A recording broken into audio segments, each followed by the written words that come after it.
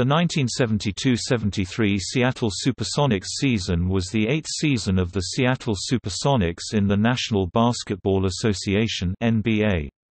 The team finished the regular season in sixth place in the Western Conference with a 26–56 record, 21 wins behind the one obtained in their previous season.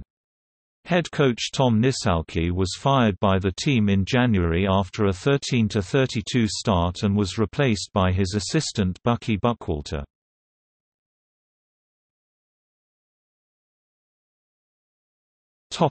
Off-season The off-season trade that sent player-coach Lenny Wilkens to the Cleveland Cavaliers was received with shock from fans and the player himself. The trade also sent Barry Clemens to the Cavaliers and brought All-Star Butch Beard to the Sonics. The signing of free agent John Brisker cost the Supersonics a $10,000 fine and the resignation of their 1973 first-round draft pick to the Philadelphia 76ers for violation of league rules that prohibited the team to approach Brisker without contacting the Sixers, who selected him in a supplemental draft in 1969 and held the rights to the player.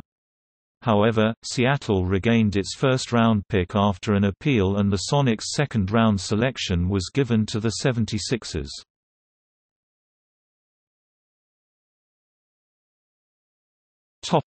Draft picks Note, only draft picks who participated in at least one game in the NBA are listed.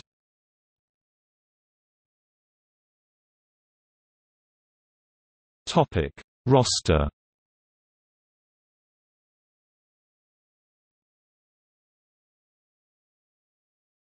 Topic: Depth chart.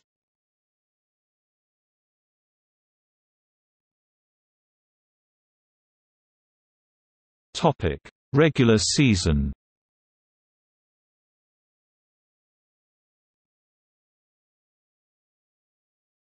Topic: Season standings.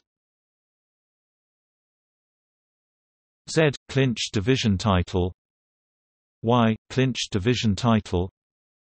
X clinched playoff spot. Equals equals equals record versus. Opponents equals equals equals. Topic. Game log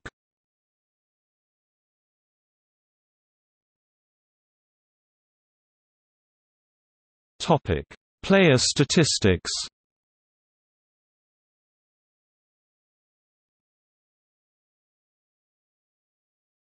Topic: Awards and records.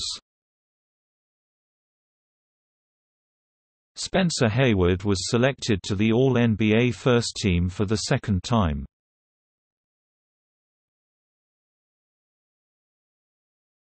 Topic: Transactions.